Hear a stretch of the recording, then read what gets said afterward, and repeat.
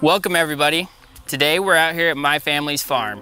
My name is Stephen Filter. I'm a fourth generation farmer here in Live Oak, California. We're located about an hour north of Sacramento, uh, just right off Highway 99, and we farm peaches, prunes, and walnuts. Uh, we also have a large custom harvesting operation during walnuts where we harvest other customers' crops, bring them in, hull them, dry them, and ship them to the processor. Uh, when I say I'm a fourth generation farmer, I mean that we've been farming this property for over 120 years now. My great-grandfather immigrated from Germany and settled here, growing various crops, which turned into peaches, prunes, and walnuts that we grow today. Um, a fun fact, actually about my family, is our last name actually started with the letter V. And when he emigrated through Ellis Island in his thick German accent, it sounded like filter. And that's how we became the filters. So today we, we farm about a thousand acres here. Uh, we're in Sutter County, right next to the Feather River, on some of the best soil in California. Um, we're very lucky to have good water here. Um, even with a drought, we use conservation techniques, but we're still able to farm to our full acreage potential. Uh, today we're gonna be doing a little bit of everything. We're gonna walk from the walnuts that we're in here right now. Uh, we're gonna talk about what's going on in the orchards today. We're gonna go visit one of the peach orchards where we're actually thinning the fruit, um, which is our next step before we get to harvest, which is just a couple of months away. Um, after that, we'll go to one of our prune orchards and actually see those being thinned by machine versus the peaches being thinned by hand. Then we'll take a quick jaunt up the road and visit our local Sunsweet dryer where all of our prunes are delivered during harvest. And that's where they become an actual prune from a plum. And we'll talk more about that a little later. Other than that, we'll also visit the Feather River and see how the drought is currently impacting our farm. Okay, so let's talk about where we're at right now. So we're in a walnut orchard. This is about a 25 year old orchard. So it was planted when I was really young. Um, it's Chandler's, which is the most popular variety of walnuts here grown here in California.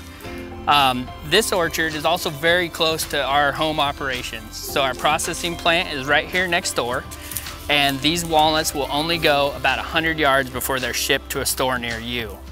So what's going on in the orchard today? Um, right now, we are just keeping everything growing until harvest. We're kind of in that maintenance mode, giving the trees exactly what they need. The walnut trees are a lot like us, and same with the peaches and prunes. They need water, they need to stay hydrated, they need food, so we give them different amendments, different fertilizers to keep them growing healthy. And they also need to just have the right environment to grow in. Unfortunately, as farmers, we don't really have that opportunity to control the wind or the rain. Um, but luckily, so far this year, we've lucked out. Um, haven't had any big problems with Mother Nature, and she's actually been on our side a little bit. Um, so let's talk about exactly what's going on with the walnuts right now. Um, so let me grab one off the tree here. And I can actually show you what a walnut looks like today. So while that doesn't look like what you would see in the grocery store, the walnut is actually growing inside this green hole. And if I cut one open,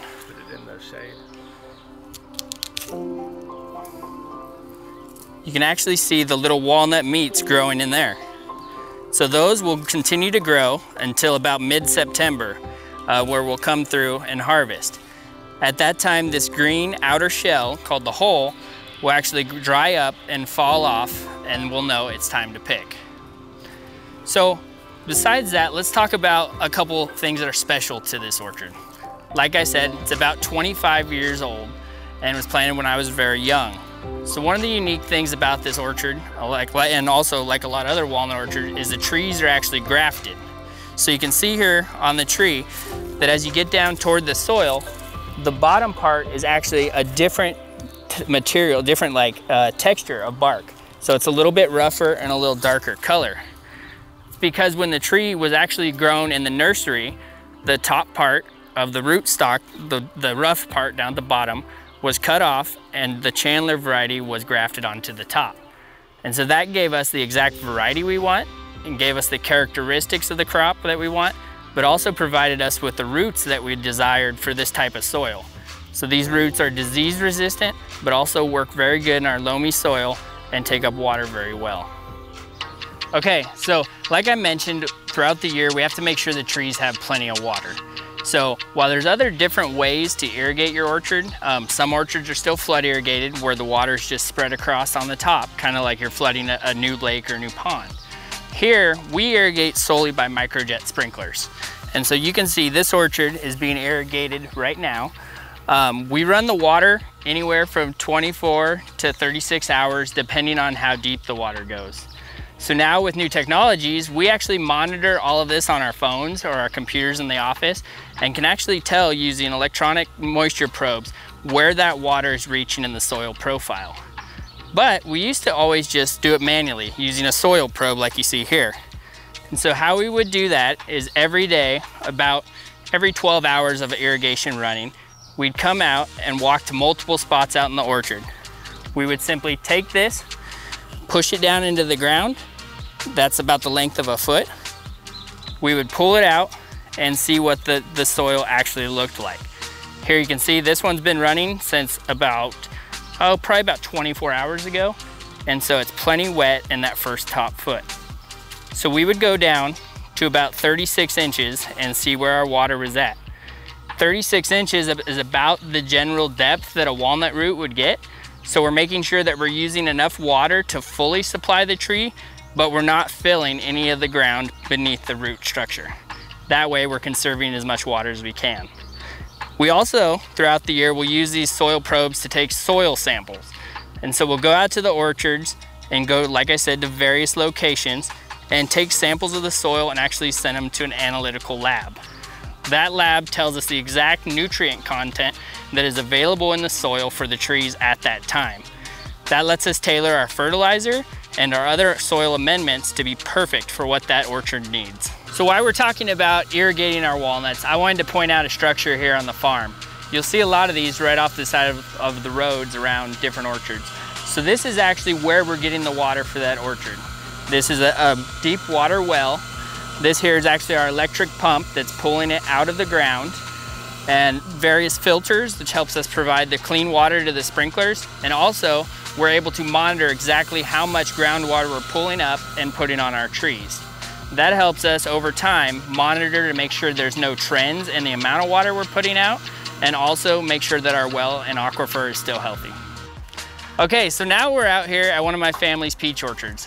So this is actually our earliest variety. This, this peach orchard will be ready and ready for harvest about the second week of July. So about 70 days from now, we'll actually be picking this orchard.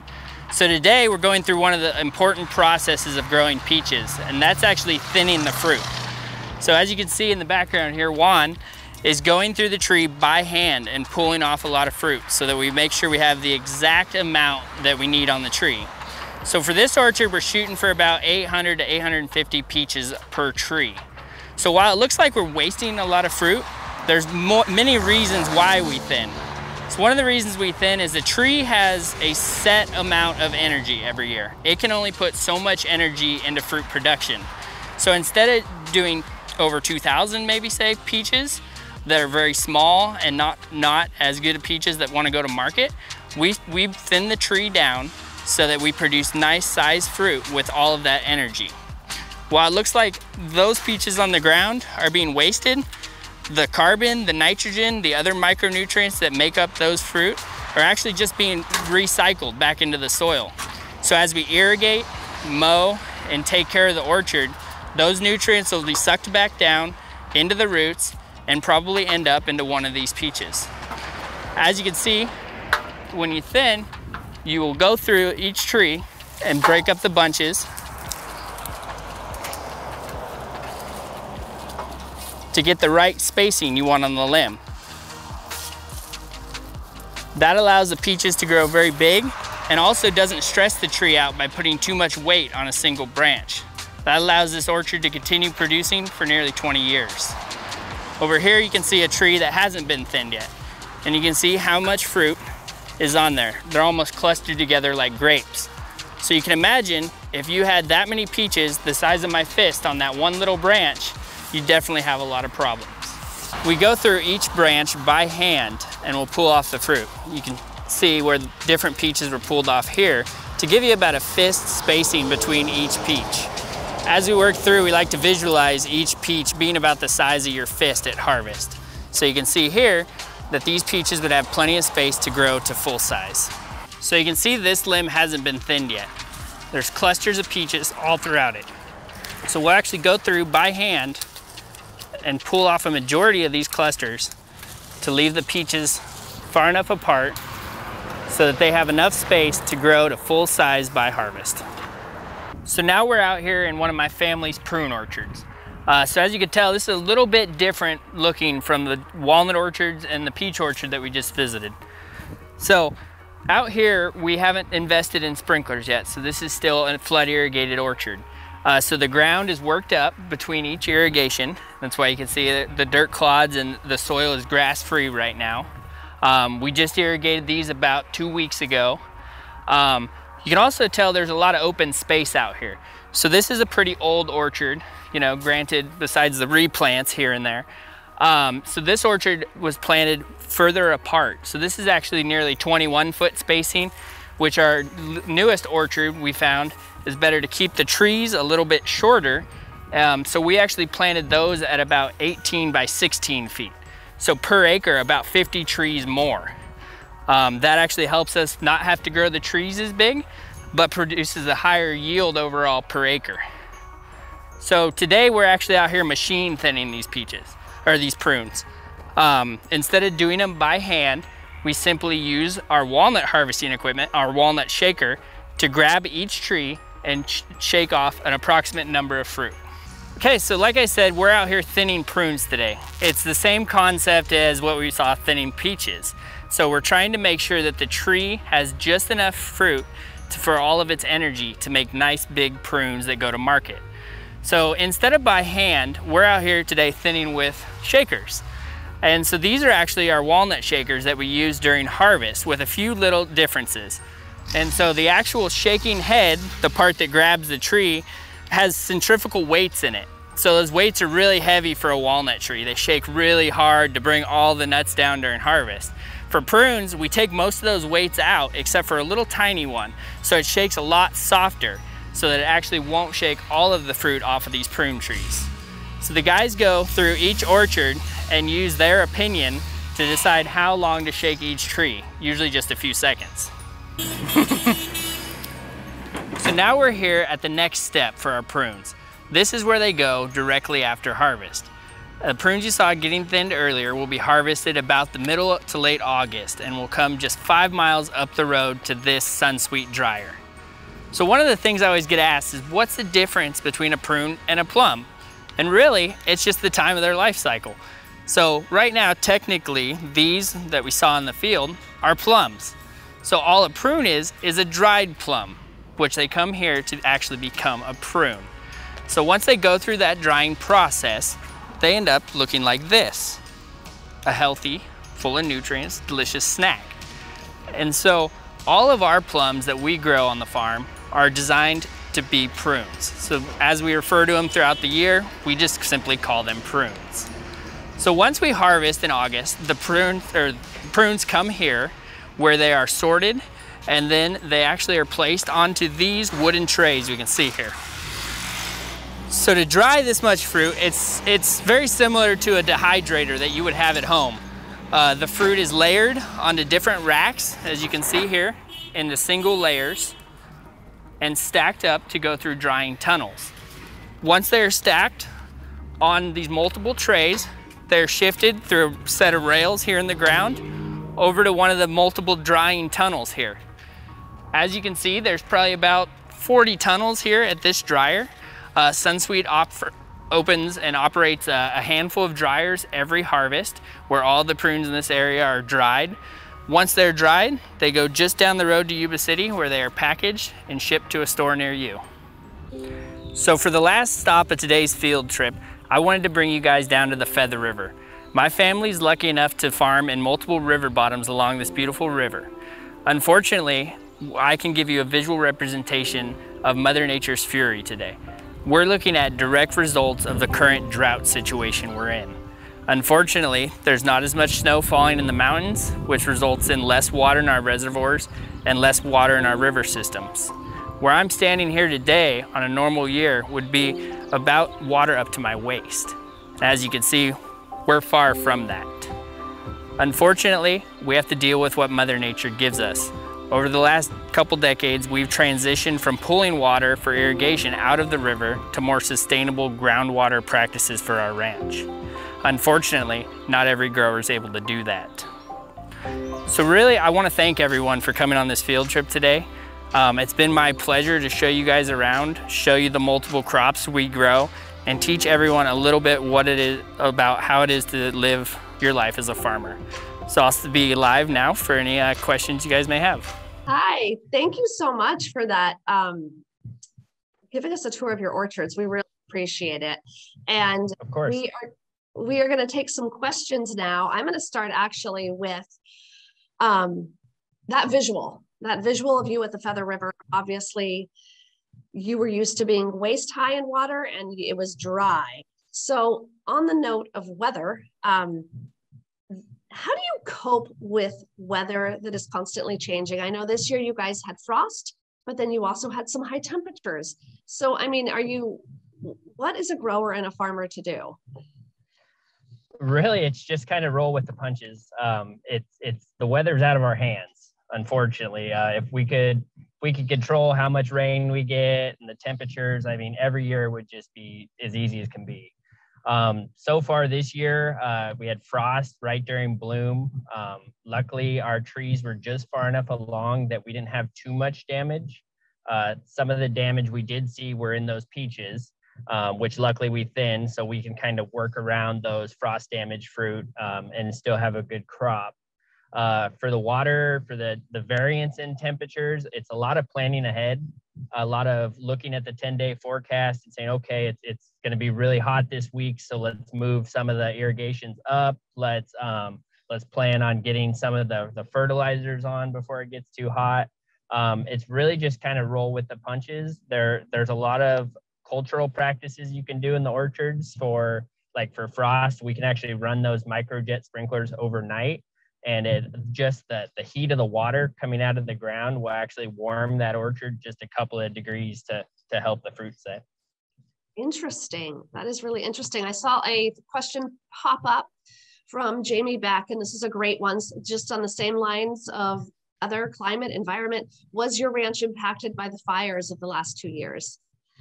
Uh, yes mainly in the way of having to work out in the smoke. Um, luckily you know we are down in the valley, so we don't have any fires that you know burn right up to our front door. Uh, but just working in the smoke, um, having to deal with having 20, 30 employees in the field breathing air that you shouldn't be breathing.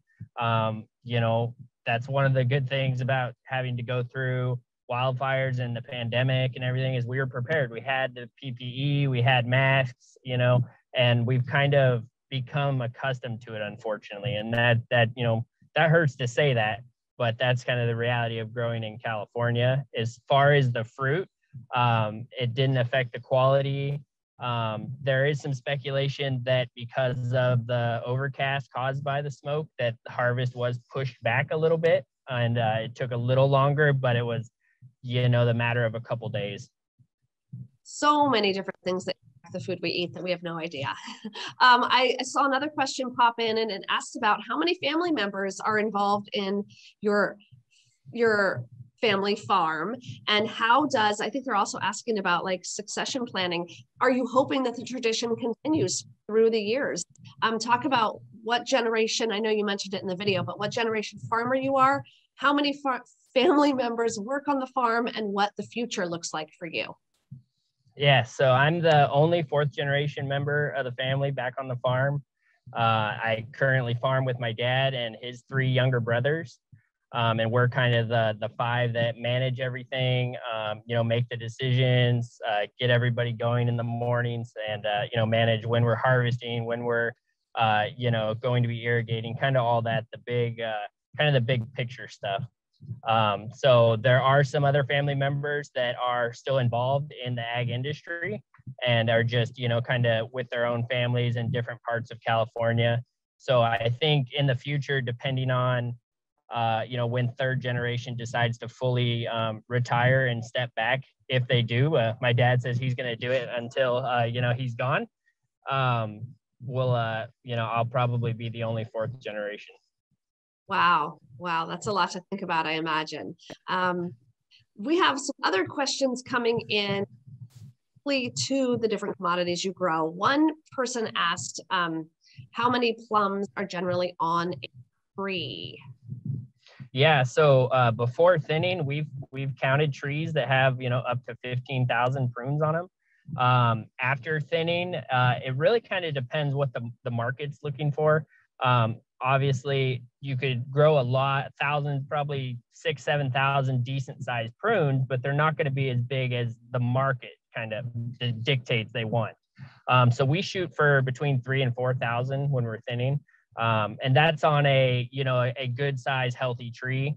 Um, some of the trees in, you know on that field trip that we saw uh, in that orchard are, are, a little bit older, a little bit smaller, um, you know, and then we'll we'll shoot for a you know a little less.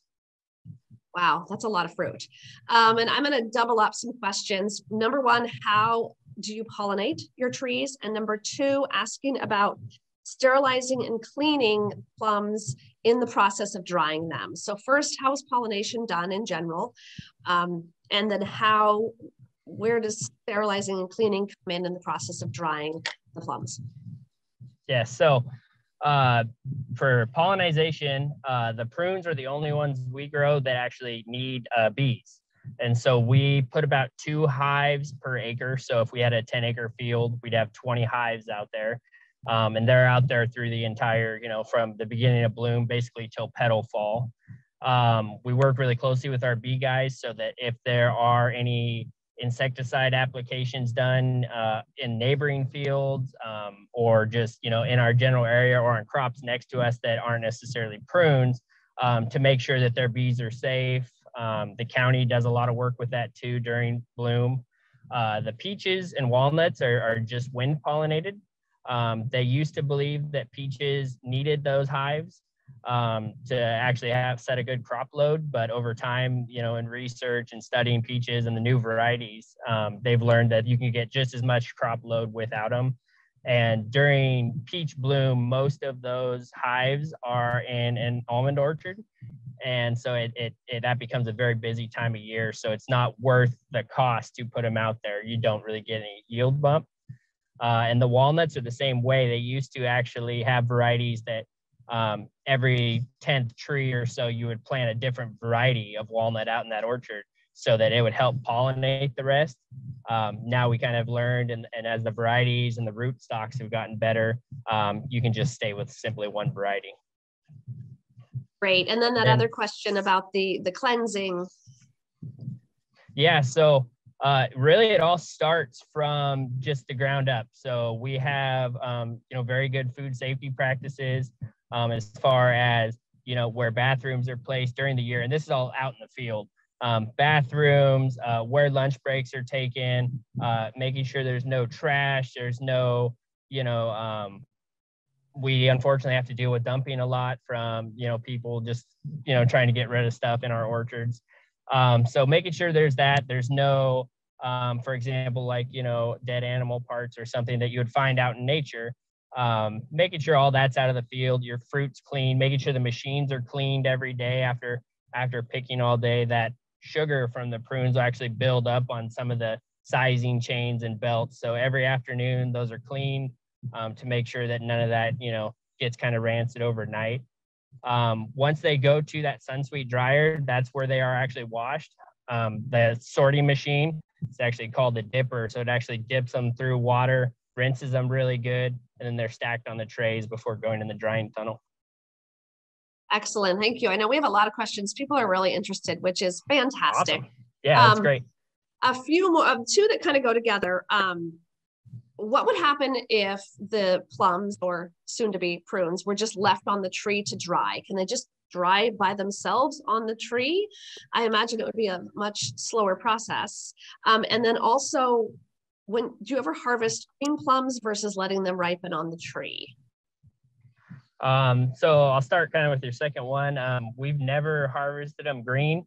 um, even when we start harvest, so all all 500 acres of prunes that we grow are all the same variety. They're all French prunes, so they all basically ripen at the same time. Um, so we test all those orchards, um, looking at sugar content and basically the pressure of in that prune, um, how much pressure it takes to break the skin. And so when we first start harvest, those prunes actually have like a tint of green to them. So if you see a video um, I know that we did one with Sac Valley Water, and and a couple people on that one had asked, well, why are you harvesting them so green? Because they, they did have a little bit of green tint on one side of the fruit. Um, but if you were to taste that, it, it's ripe. It's it's full of sugar and and ready to go. Great. And then that other question, what would happen if you just let the fruit dry on the tree naturally? What would that process look like? I imagine it it would it'd be a much longer and less productive. Yeah. Yeah, definitely. So uh, in the dryer, those prunes are dried for right around 20 to 21 hours at about 190 degrees. So we would obviously never reach that temperature out in the field. And then and in late August going into September, those those fruit will dry on the tree, but having those heavy dews at night just invites mold and basically decay. Um, like any fresh fruit would, you know, mold kind of in your in your refrigerator if it gets left too long um, you definitely run into those issues and, and probably see uh, a lot of food safety issues pop up around that. Um, prunes used to be uh, simply harvested from the field and laid out on, on tarps on the ground and, and dried just by the sunlight. Um, took a lot longer and it was, you know, take a lot of labor to do. Absolutely. How long, here's another question, and this may be for somebody that just planted a tree. How long does it take for a tree that is planted um, to produce fruit, either for a farmer like yourself or for somebody like me that that plants it in my backyard. Are they one and the same? And how long is it going to be before I get some fruit? Yeah, so definitely uh, it, a fruit tree, peaches, prunes, uh, nectarines, apples, um, kind of all of those. It's it's really just a couple of years. Um, you're not going to get much. You'll only get you know maybe one or two pieces of fruit in the you know the second year. Um, it really kind of depends on the the health and how vigorous that tree is. Um, but also you kind of have to weigh out the fact of do you want to um, try to get all that fruit, uh, you know, the say 20 pieces of fruit your your third year, or do you want the tree to get bigger so in subsequent years you have more? So um, on a lot of say our peaches uh, for the second and third year, um, right about this time as we're going through, if we're doing any pruning, we'll actually pull those fruit off and just let them recycle back into the soil just to promote the growth from that tree. Um, there's kind of the uh, thought that, you know, you can either um, make some more money your third and fourth year, or you can wait and then your fifth through 12th year, you'll make all that money back plus more. So. Excellent.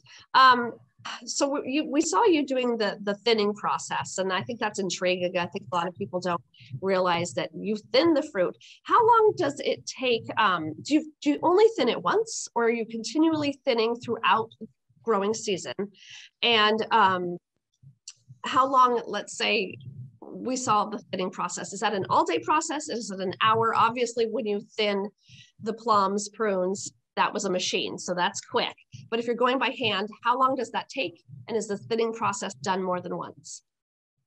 Uh, yeah, so we usually try to go through just once in an orchard, um, but it kind of comes back to your question about weather and Mother Nature.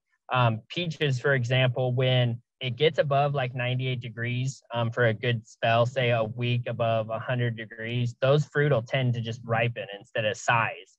And so we'll, we'll sometimes we'll go back into a field that we maybe left on the, the side of heavy, maybe a little too much fruit per tree, but if it was a good year, they would all size. And we'll actually go back through there and pull them off. Usually that's using just like a pole with a, a metal uh, ring on it just to kind of pull them down.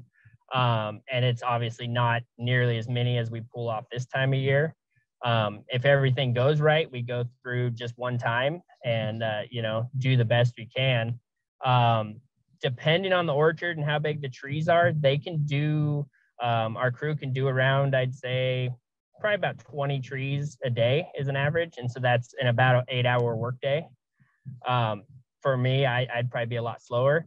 Um, but it, it, really takes a lot of skill because you're, you're looking at the tree. Um, you got to kind of visualize the whole thing at once. You can't just work inside of a little box because you got to realize if one part of the tree is a little healthier, you can leave a little more fruit. If one branch is a lot weaker, you know, you take a few more off and kind of try to put that whole tree together as one big piece. Excellent. Thank you so much. Um, we are going to move on to irrigation, and I think this is a yes. great question. So, how often do you irrigate? And I know that depends on the weather, and there's a lot that goes into that question. But also, I think this is really interesting. How do you prevent root rot when you're irrigating? Yeah, so uh, um, depending on the crop, so walnuts can go, and, and depends on kind of where they are too. Uh, walnuts can go three to four weeks without getting subsequent irrigations. Uh, prunes are a little less, two to three weeks, and peaches we really stay on kind of like a two-week schedule, um, and that's because you know, like I said in that video, we will be harvesting those fruit, at, you know, in about a month and a half from now. So those fruit are taking up so much water, and those trees are taking up so much water. Um, those trees just dry the ground out so much quicker. Um, some of the walnuts we grow down in the river bottoms, even with the river that low, um, you know, they have roots that go down 20 feet. And so they can actually suck out of the river um, on some of this ground that's uh, further away from the river where you don't have roots that go that far, um, you know, that are only two, three, maybe four feet down in the ground. Um, it dries out a lot quicker. And so we have to keep more water on them. Um, root rot really isn't a problem unless the, the water is warm and it sits on them for a long time. So with those microjet sprinklers, I mean, within a couple of days of shutting that water off. It, it's muddy, you know, it sticks to your boots when they're running. After we shut it off, you can drive a tractor out there in two or three days and not leave a track. And that's just how quick that ground dries out and how quick those trees are taking up water. Um, we did, uh, you know, when the, the spillway crisis at Lake Oroville, uh, you know, in 2017 and um, had a lot of water in our river bottom orchards and actually went through a lot of that root rot because that water set on there, you know, for days, weeks at a time. And you could actually see, um, you know, we lost probably in one of our prune orchards, probably upwards of 30, 40% of our trees out there just because the water set there. They were trying to bloom at that time. And so they just didn't have any oxygen down there. That is a case. That is a case when root rot was something that you actually experienced during that yeah, really prime yeah, time. Yeah. At yeah, a very um, large scale. Yeah. Absolutely.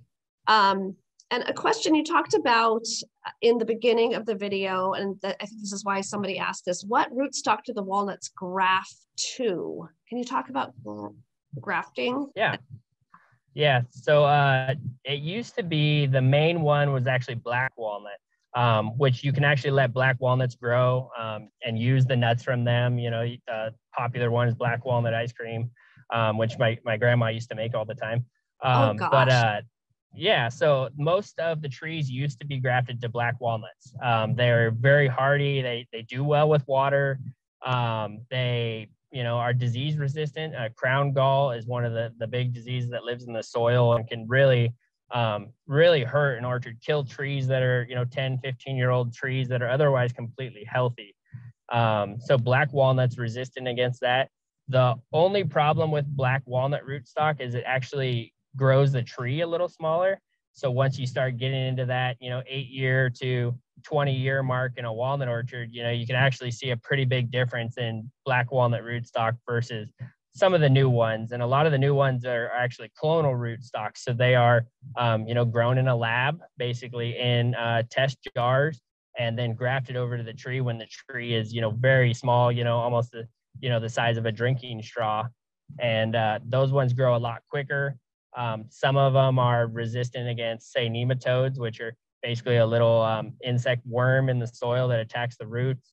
Um, and some of them, you know, do well in different types of soils. So uh, just kind of depends on what your farm is doing, what your plan is, what your, you know, big picture is on what rootstock you go with. Great. Um, few more questions and thank you so much for your time. We really appreciate it, Stephen. No um, how and what type of pesticides do you use? I know that that, that is an issue that obviously mother nature, you have to plan for different things and farmers do use pesticides at certain points. Can you talk about that?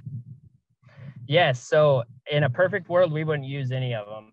And I think one of the, the big misconceptions about um, how farmers use pesticides and insecticides is that we just go out there and blindly use them. We just, you know, if we see one bug, we um, spray the whole orchard, you know. Um, but right now, and especially kind of as a result of the pandemic and just the global economy, is pesticides are incredibly expensive. So that's just another reason if we don't need to use them um, to save our crop, we won't use them.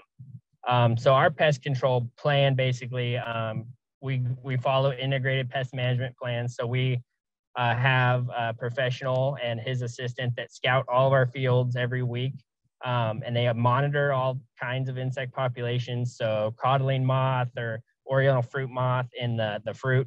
Um, they're constantly looking those trapping, um, you know, and kind of estimating in the future of like, okay, and I think in three weeks we'll have a population that needs to be addressed and it'll be about the right time in that moth's life cycle to um, to apply the pesticide that, that'll work the best. Um, I kind of mentioned, you know, during pollination and when there's a lot of beehives in the area, um, there's certain cutoff dates where you're not allowed to use certain insecticides after a certain day to protect the bees.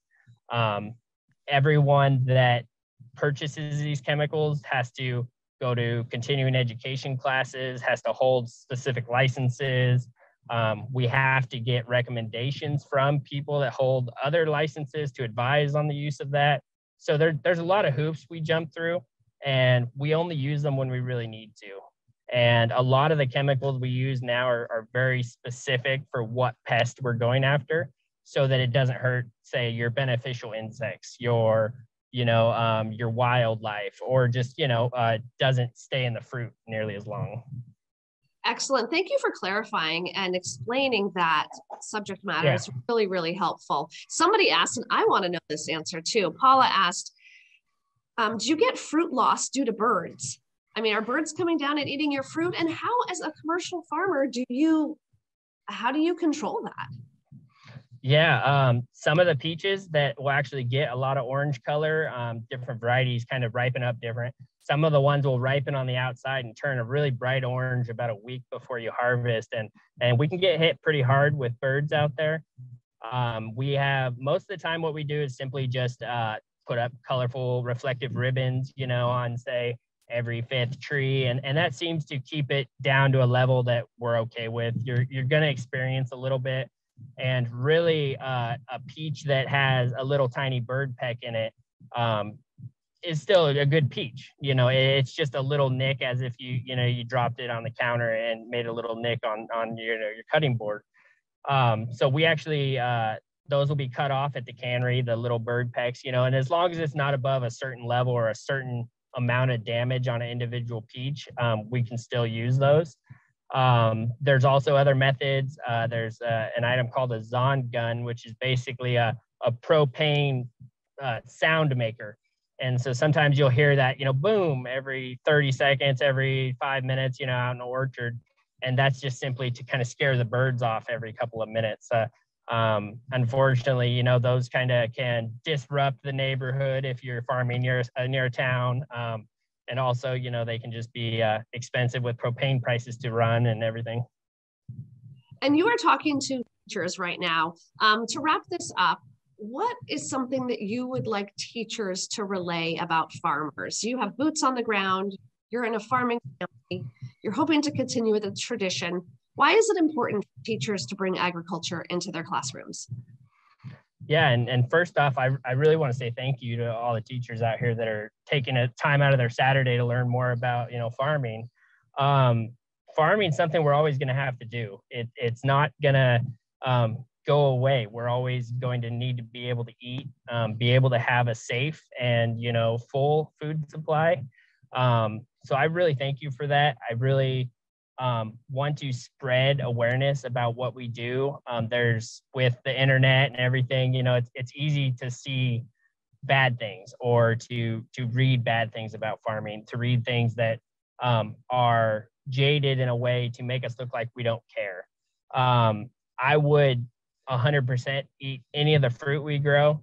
Um, would feed it to anyone I care about. Like like we we do the best we can. We try to be safe with everything. We we're just you know we're we're people we're just like anybody you know we're we're doing the best we can um, we're trying to grow good food and we really just need to further educate children uh, adults everyone about agriculture because when it comes to voting when it comes to um, being open to helping farmers in your community um, to understand why your food prices might vary um, you know, and then just buying buying California food, buying you know food grown in the United States. Uh, um, it all starts with education.